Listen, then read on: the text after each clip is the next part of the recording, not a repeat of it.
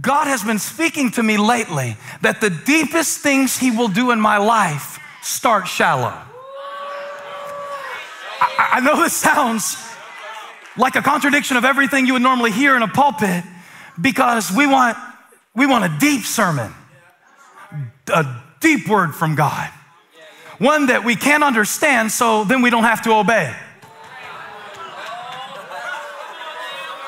But while I was reading the text, I was drawn to verse 11 I was like, Yes, Lord, I want to follow you wherever you lead. Though none go with me. I still, that's the second verse of the hymn you didn't learn when you were a kid, Cherish, the one that you were at the club and they were singing in church. It said, Though none go with me, I still will follow. Yes, Lord, I just want to go into the unknown. I will follow you, Lord. I will follow you. Yea, though I walk through the valley of the shadow of death. And the Lord's like, Kid, you hadn't even read your YouVersion Bible plan. Start shallow. That's about the deepest thing that you could do. Leave everything and follow him. But, but notice in the verse, it's in the verse, it's in the Bible, it's in the Bible. I don't understand everything about decision making science, but I understand something about Scripture, a little bit about Scripture. I understand a little bit about Scripture. And it said that, that, the, that the boats were at the water's edge, the crowds were coming around. And in verse three, he got in a boat and asked him to put out a little. I stopped when I read the word little and I realized that before they left everything, they did a little thing.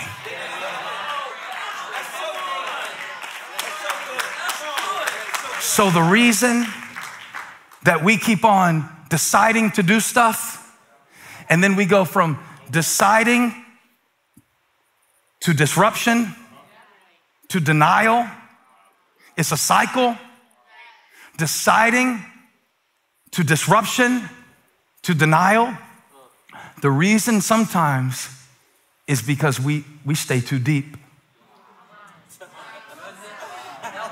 And I want to give you a story that I never had the guts to share before right now. But something about this year has made me a little bolder. I don't know if it's just that I think that Jesus is coming back next Thursday and it doesn't matter anyway, so get me out of here. Whatever. I, I feel a little conspiracy theorist rising up in me this year. I don't know. I never had all that before, but it's coming now. Anyway, when I was going through a period of criticism, and I'm not going to live in it because God knows it, it was about this time in 2013.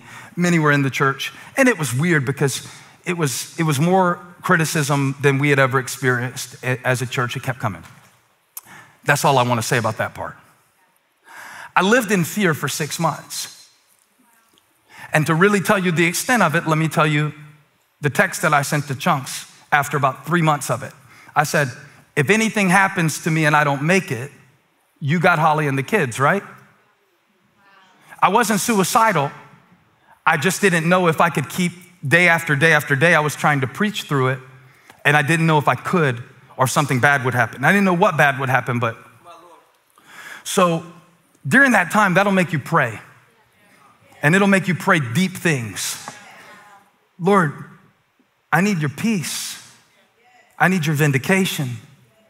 Some of the things, many of the things they're saying are not true and they're twisted, and, and I don't want to keep having to deal with this. So, Lord, to deliver me. When I tell you what brought me peace, you are not going to be satisfied. Because while I was praying the deep prayers, you know, uh, I found some prayers in the Psalms where David was praying stuff like, smash my enemies' heads against a rock. I found some great scriptures during that time that I never saw before. Very, very meaningful to me. But now, my answer wasn't on my Bible app, it was on my Twitter app. Hmm? And when I decided to delete Twitter.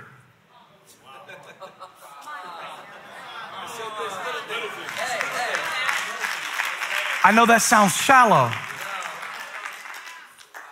But that little, I don't even know if people use Twitter anymore because I haven't been on it really in seven years. They put stuff out. That's not me. That's somebody on a computer somewhere putting Bible verses out in my name. I can't go on there. I can't go on there. And I was telling my friend, it's like, when I deleted all this stuff, now, I'm gonna tell you what God's gonna speak to some of you through this sermon today. He's gonna tell you to delete something that is defeating you. Because you think victory is so deep. The battle is the Lord's, but the app is yours. The brain is yours, the decision is yours. And when I deleted Twitter, I told my friend, it's like I thought there were, there were mountain lions in my yard waiting to attack me. And then I saw it was just squirrels. It was just squirrels. And, and, and I, I thought, I can't survive it because I was surrounded by squirrels. I know it sounds so silly. I prayed, I said, God, I can't tell them to do that. I need to, it's, it's, it's a lot of stuff going on in people's life. I need to go to the book of Revelation. Book of Revelations, put an S on it. Book, I need to go to the book of Revelation. I need to go into the beast, the mark of the beast, the 666, the number of the beast. God says some of the, some of the, some of the things that they're praying for me to deliver them from, I have given them the power to delete.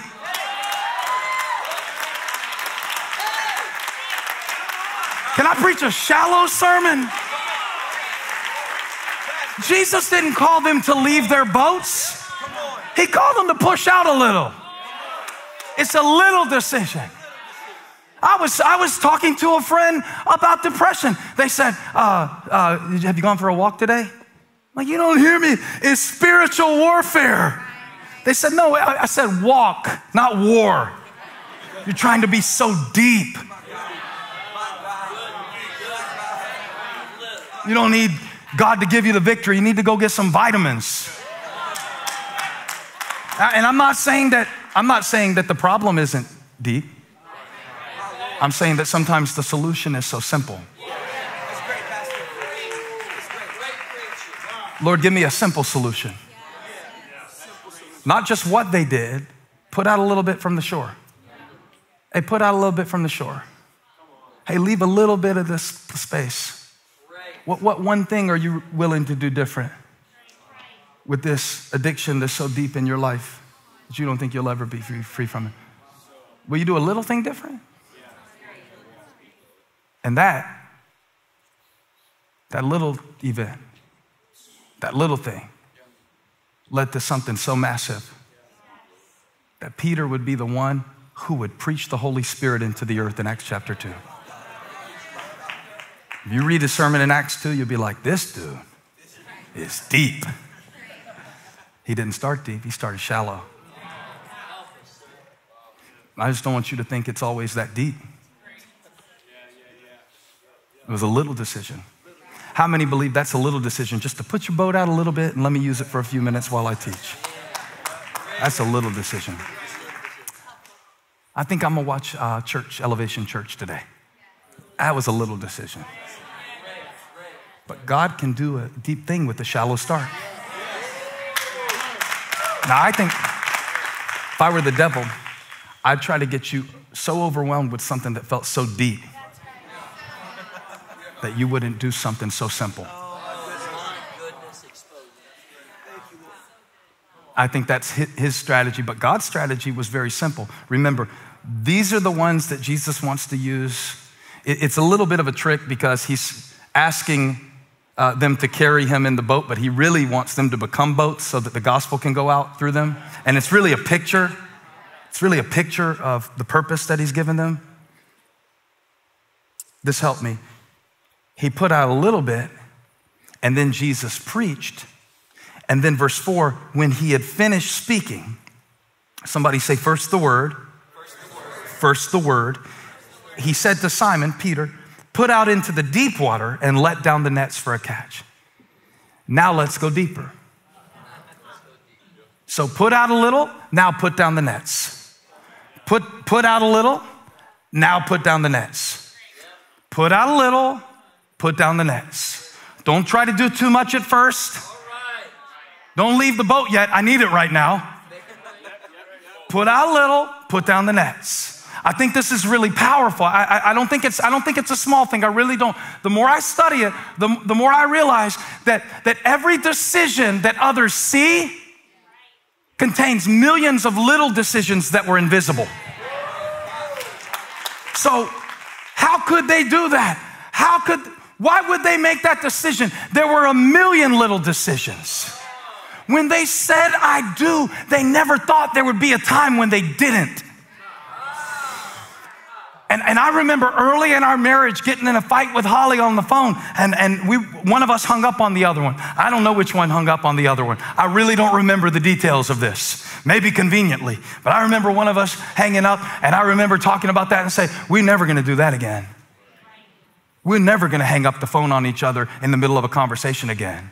Because nobody walks away from someone that they gave their heart to all at once. Decisions have momentum. So the day I hang up on you, five years later, I hate you.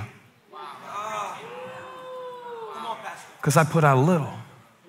See, this works both ways. Nobody decides, I would like to be straddled with an addiction that will follow me to the grave. Nobody decides that.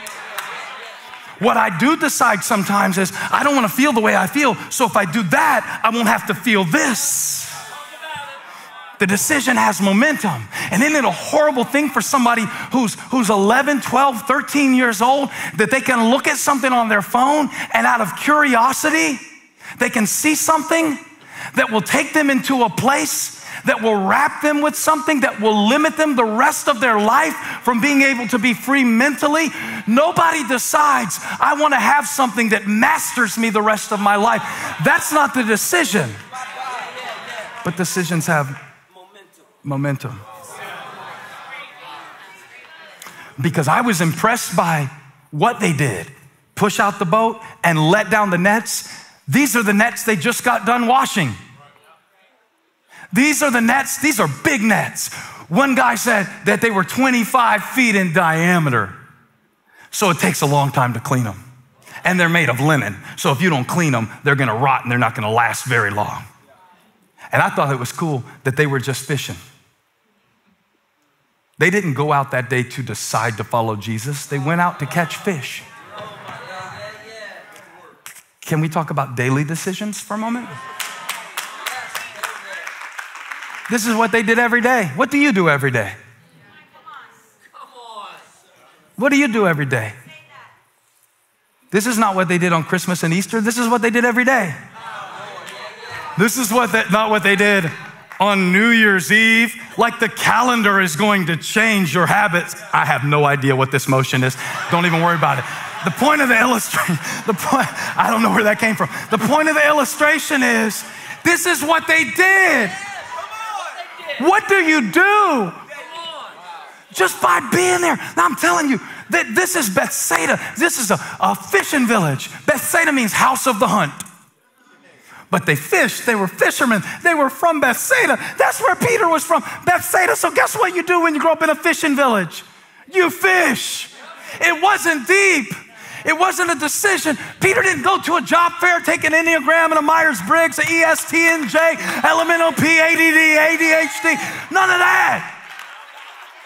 We want a deep, God, I want a calling from you and a purpose in my life and on a faith. And the deep goes to deep. He went fishing and he caught nothing. Can you make a positive decision even after you've experienced a negative result? This is what amazed me. See, when I get on a roll, I can do amazing things.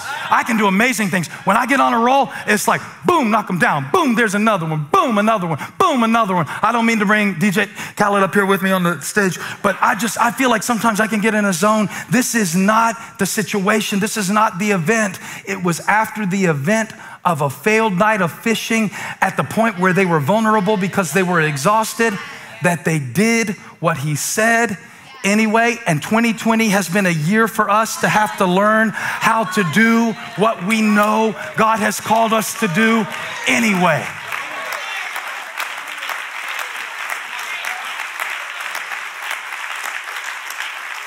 And to know that we can have a feeling and not act on it and make a different decision. Have a temptation and not act on it. You know how grace is the power to cover your sin? It's also the power to change your decisions. And only because you're frustrated doesn't mean you have to make decisions that create more frustration. When they did what Jesus told them to do, when they obeyed the word of God, and that might mean a lot of different things for a lot of different people. That might not mean anything having to do with a fishing net, but it could. It could be a career thing. I always get scared when I preach like this that people are going to take Luke 5 11, quit their jobs, and leave their boats and follow him. But I'm, I'm going to tell you something. If you leave your boat without a backup plan in this economy, it's going to be a minute before you're going to leave your apartment, leave your house too, because they are not going to take the message of the Lord as a mortgage payment. So you better be, be very careful that you put out a little bit from the shore. Praise him. Glory to his holy name. And the 24 elders said, Amen.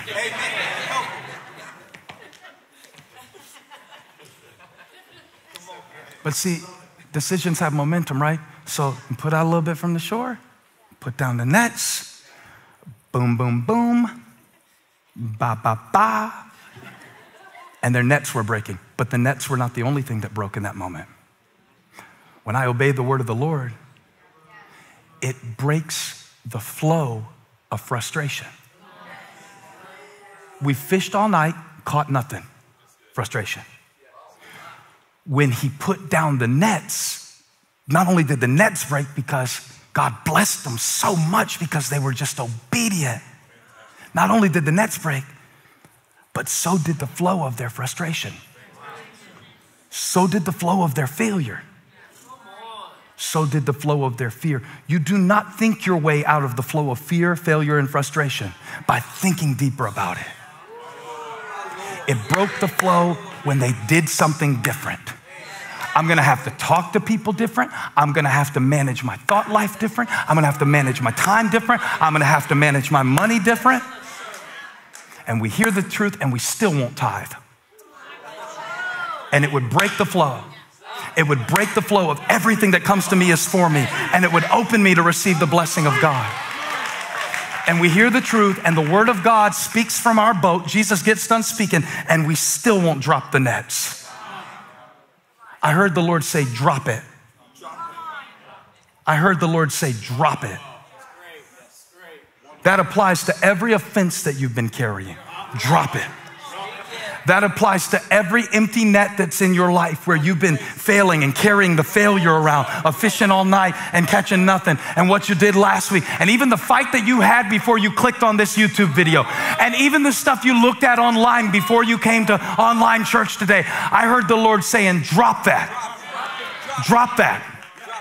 Sometimes we, we, we, don't, we don't drop the net because we're, we're so busy, we're so, we're so caught up in, in the discouragement. You know, it's really hard to drop the net when you're drowning in disappointment. I make good decisions when I'm in a good flow. Oh, this worked and that worked and this did good and that did good. That is not the occasion in Luke 5. That is not why they left everything and followed him. He got in their boat at a bad time. How annoying is this? He came in their boat as a distraction. You say, Well, Pastor Steve. Yeah, I'm back on it. The Lord is never a distraction. It was for Peter. He was trying to wash his nets. He was still dealing with a night of coming up empty. And God was trying to fill him in that moment with not only fish, but faith. Hey, thank you for watching. Make sure you subscribe to this channel so you don't miss a single video or live stream. And share this video with a friend. And don't forget, you can join me live every Sunday. Thanks again for watching.